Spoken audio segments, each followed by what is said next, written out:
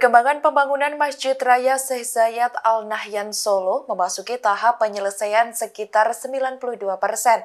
Wali Kota Solo Gibran Raka Buming Raka pun sempat meninjau masjid tersebut pada Jumat 21 Oktober 2022 lalu.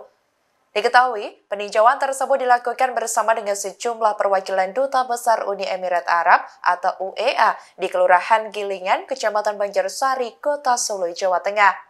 Gibran mengatakan Duta Besar UEA sangat senang dengan progres dan bangunan masjid tersebut.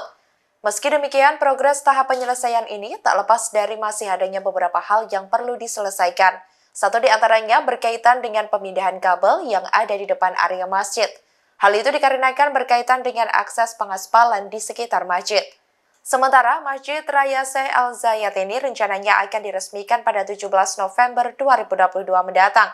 Diketahui, Presiden Uni Emirat Arab Syekh Mohammed bin Zayed Al Nahyan atau MBZ dikabarkan akan menjadi satu di antara tamu undangan dalam peresmian masjid tersebut. Gibran menyampaikan bahwa MBZ kemungkinan akan menghadiri peresmian masjid tersebut seusai menghadiri acara di Bali. Selain MBZ, Presiden Republik Indonesia Joko Widodo dan sejumlah pejabat hingga tokoh agama lainnya juga akan menghadiri peresmian masjid.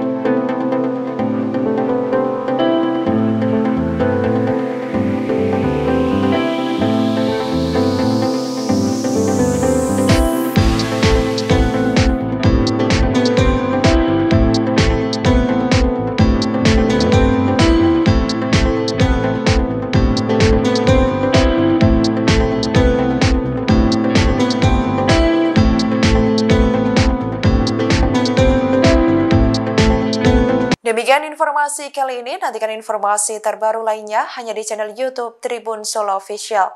Terima kasih sudah nonton, jangan lupa like, subscribe, dan share ya!